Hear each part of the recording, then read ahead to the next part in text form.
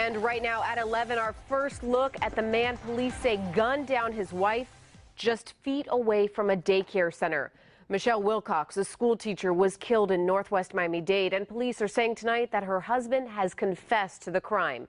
Local 10 News reporter Liane Morejon joins us live from Miami with more. JC, he is facing second degree murder charges in connection with the shooting death of his own wife. Right now, he is at a Miami Dade County jail being held without bond.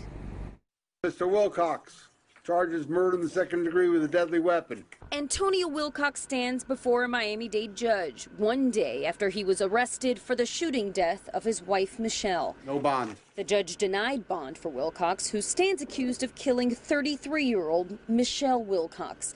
She died Wednesday afternoon, just feet away from the Academy of Knowledge Daycare Center in northwest Miami Dade. Police say it all started when the couple got into an argument at this home on Northwest 22nd Court and 117th Street. Then Antonio allegedly chased Michelle down the street with a gun, shot her, and escaped in a white sedan. Police seemed to know who they were looking for from the very start and finally caught up with Wilcox late Friday night. Watched the news yesterday. Right. I saw, I don't know, it's Michelle. Yeah, he shot. Yeah, he shot. Neighbors and friends were stunned to hear of Michelle's death.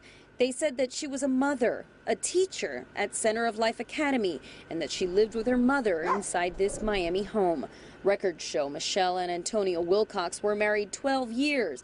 But as for why their relationship came to such a violent end, that remains a mystery. Thank you, Mr. Wilcox.